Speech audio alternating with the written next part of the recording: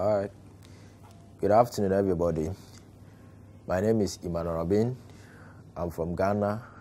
My institution is Ghana Standards Authority. First of all, I would like to thank uh, Malaysian government, Malaysian Technical Cooperation Program, for having me here and for inviting me over for this program.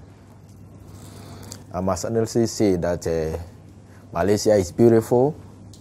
Malaysian people are very friendly and welcoming.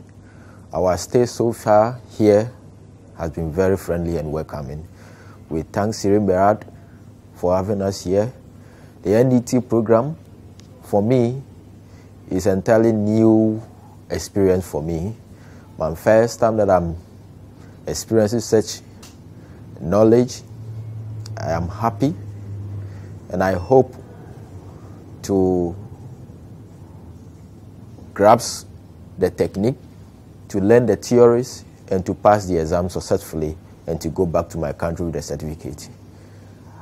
Malaysian, we have stayed in various hotels, and uh, they have treated us very well. I thank all the staff of SIRIM Berhad for the support that they have given us throughout this training and for the help that they have extended to us. Thank you very much. Thank you, everybody. Thank you.